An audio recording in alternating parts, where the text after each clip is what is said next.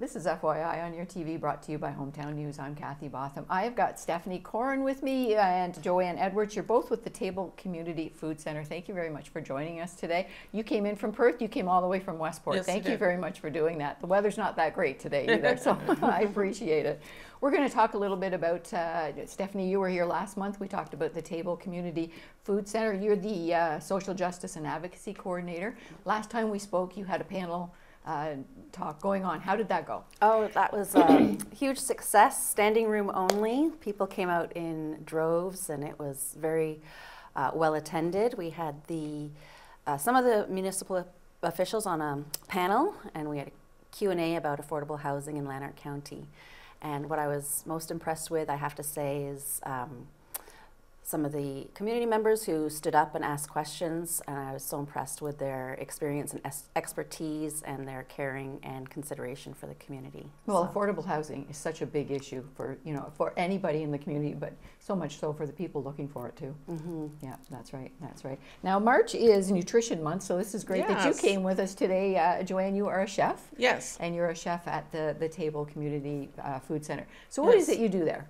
Well, um, my role is to make sure that uh, we have uh, three meals running a week, and um, for the community meals, uh, Monday, Wednesday, and Friday. So I take care of those meals as well. We have um, certain uh, different programs going on during the week or during the month.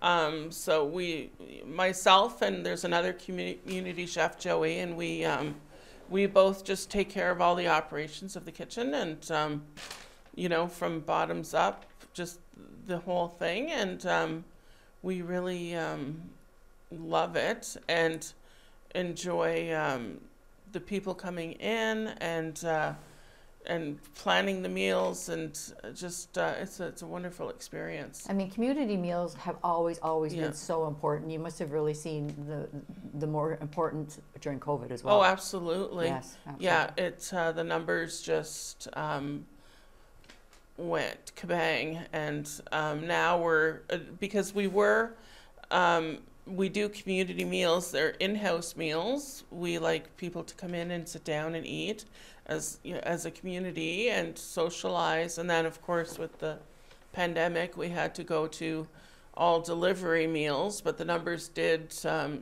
you know, they were they were a lot larger, and so now we're getting back to the in-house meals as we don't do the deliveries anymore, and um, but it, and it's and it's going again. It's just it's expanding, and more people are coming in, different people, families. Um, so it's uh, it's really it's. Uh, we're glad we're there to be able to do that for people. Absolutely. you And you know? know, these, these community meals are so important, you Yeah. know, in terms of getting a good meal. Absolutely. The social aspect of it as well. It's both, yeah. For people that had to be isolated and uh, now they can come back and, and really, you know, it's a really, it's a great place. People are laughing. The whole it place is there's a great vibe and um, everybody is talking and it, it's just it's wonderful to see people are bringing in their kids and um, which is you know it's fantastic and i mean everybody is welcome everybody is welcome so it's it's a community meal and uh, so please is that's what it is and uh, I'm glad you, you mentioned the children too, Yeah. because a lot of people I, I've seen at these, and I've heard too, Yeah. they come to these community meals and they will forego themselves as a parent just to make sure that their children will get a meal too. But it's open to parents as well. Yes. absolutely yeah Yeah. yeah So, So- you've got uh, community meals. Whereabouts? Where do you do them? We uh, at the table at uh, on Gore Street, Mm-hmm. and right now the address is slipping out of my 190. 190 Gore Gore. Street on Monday, Wednesdays, and Friday, and the meals are from 4:30 till 6 those days, and um, of course the table is open um, Monday to Friday from 9 to 6. Um, people can drop in and have a coffee as well if they like a chat. So we're open for those, uh, you know, those kinds of things as well. Or if they want to find out information, anything like that, or ask questions, definitely. For sure. And I mean, Stephanie and I met last month. There's so much more that goes on at the table than the food, too. I mean, your, your, your position, what you're doing with affordable housing, the food, the nutrition, teaching uh, families, and, and I, I love the children's part where you're teaching Yeah. them how to cook, too. Yeah. I think those are wonderful, wonderful programs. You just see the smiles on their faces and everything like it's that, great. too. So it is great. Now, there is a Hanley Hall one here in Smith Falls that you've been doing, too. Yeah, that one is run by um, Jay, and um, it's on Mondays. I'm just uh, making sure I have the day right. Monday, and it's a lunch, and the uh, doors open at 11 at Hanley Hall, and uh, so he'll have something ready um, there at uh, at 12. So. Yeah. And that's just started. So, like, I think it's been up for about probably two months now, I would say. I Something like so. that. Yeah, yeah, yeah, yeah. Now, in terms of, I mean, you've been doing this for how long? Mm, myself, Mm-hmm. just, um, I don't know if you know my predecessor, Judy Dempsey, but she was retired in 219, 220. And so in November, so it was at the end of the year, yeah, 219. So right when COVID was just starting. And so that's when I, I, um, I took over then. So since about 220, I, I just think, how do you plan meals? How do you know? 2020, I should say.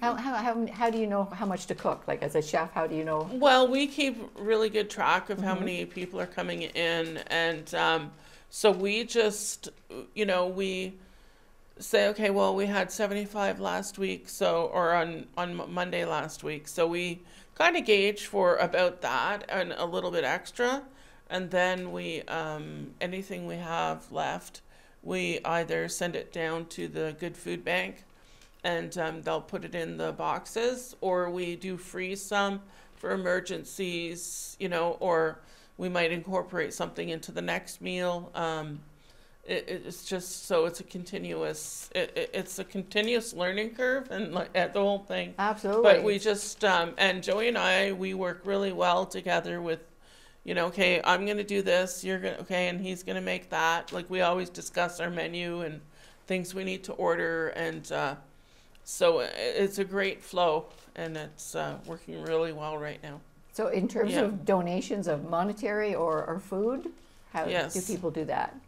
Um, again, you can go online and uh, look up the table, and um, we also have a drop-off box um, for checks or uh, donations at the table, so you can always just pop in and do that, which is nice. Then we can see, you know, put a face to the donations and things like that, and various um, tons of uh, of uh, businesses in Perth and the area um, are are continuously donating food and uh, things like that, and uh, so it's wonderful. I, and this one just Yeah. came to mind too. Like I, I think I'm in school. I'm in schools an awful lot, and I'm Yeah. thinking allergies and, and food sensitivities. You have to, Yeah, you must Absolutely, take we take all of that into consideration. Absolutely. Yeah, and to. I mean, after a while, like you know, we know people who are, you know, have you know sensitivities, allergies. Um, we often will make um, vegetarian, vegan choices. Um, you know, dairy free. Uh, we make a lot, like all our salad dressings, everything we make ourselves. And um, so we know what, what's in them, we know everything, and so it's uh, it's really good. I- Yeah. I- so we do take care of the allergies and um, sensitivities. So please, that's it's not a barrier for anybody coming in. Right. So Excellent, excellent. Yeah. I mean, it's such an important program. You- absolutely. you- we don't know ourselves. I'm very fortunate. I don't know. I, I think I get Yeah. hungry, but I Yeah. don't know what hunger is. I really don't yes, know. You know, I just think I haven't eaten since breakfast. yeah. That's my kind of know, hunger. yeah. And, but w- the, the, the things you must see.